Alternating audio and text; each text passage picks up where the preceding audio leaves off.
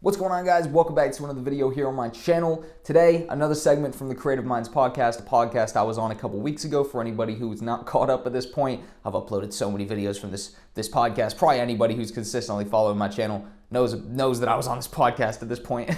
but today, we're jumping into uh, my personal ideas on what my creative process looks like when I'm creating YouTube videos and overall, you know, doing video production in general. Without further ado, let's jump into it.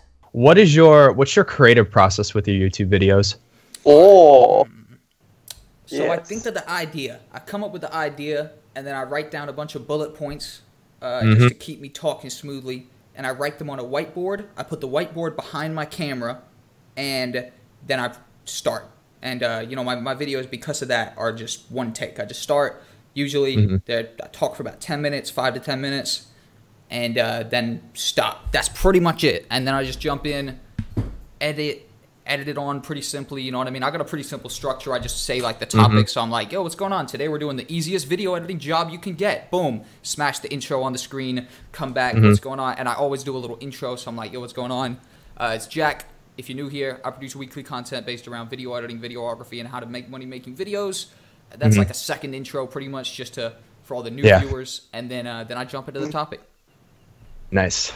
Yeah, so my creative process is pretty simple. Just think of the idea, write down a couple talking points, put it on a, a Mm. whiteboard behind my camera so I can talk fluently and just kind of look at the Yeah. and uh, and then start. And that that right there is so crucial doing the little bullet Yeah. points because I just talk so fluently. Yeah. I'm I'm I'm I'm a I'm a script writer, so I, I for me I have to have a script. I can do bullet points yeah, you depending on the, the, other video, day on my but video, didn't you? Like it's called Yeah. a script.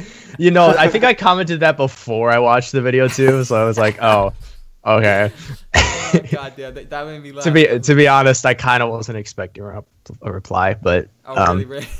Yeah, because everybody. 'cause- every, every yeah, comment, dude, bro. same, dude, same. Yes, that is the way to go on 100%, YouTube.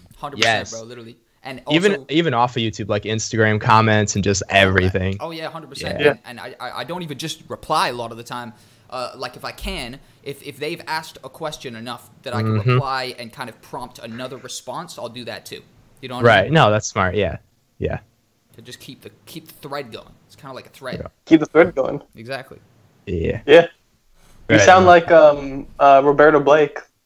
I've heard, bit. I subscribed to him a few weeks ago, bro. I, I've watched a few of Alright. his videos now. There's such a small community of these kind of guys. You got Think Media TV, Roberto Blake, fucking all Oh, these yeah. little all these little guys. You know what I mean? Um, Mhm. And you know, you watch one of their videos, you end up on the next guy's video. Yeah, for real. Yeah.